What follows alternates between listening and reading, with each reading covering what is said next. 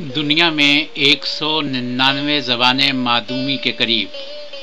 हर पंद्रह दिन में एक जबान का खात्मा हो रहा है।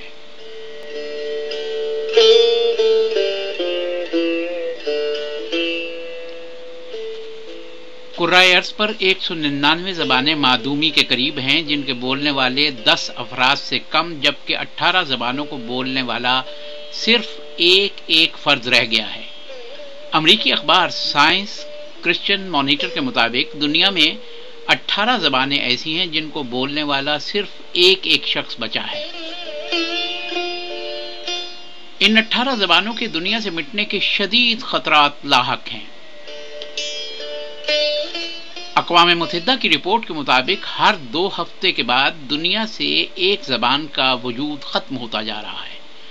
कुछ जबानें तो पहले ही खत्म हो चुकी हैं। अकवा मुतहदा की एटलस ऑफ़ एंडेंजर्ड लैंग्वेजेस फेरिस्ट के मुताबिक एक सौ निन्यानवे जबानें अपने वजूद के ख़त्म होने के बहुत करीब हैं। इनमें से ज़्यादातर किसी जबान को बोलने वाले दस से कम अफराद कुर्राए अर्ज़ पर रह गए हैं। ये बात मलहूज खातिर रहे कि किसी भी जबान के ज़िंदा रहने के लिए सांस का काम उसका रस्मुल खत करता है।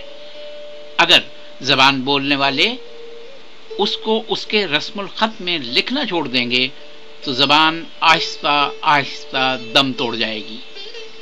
इसकी सबसे बड़ी मिसाल, बर सग़ीर की बहुत बड़ी ज़बान संस्कृत है। और इसी तरह आज ज़रूरत है कि उर्दू ज़बान को बोलने वाले और उर्दू ज़बान को माँ बोली कहने वाले उर्दू ज़बान को उसके रस्मुल ख़त में लिखें ताकि इस जबान को भी ज़िंदा रखा जा सके। आलमी अखबार मल्टीमीडिया लंदन।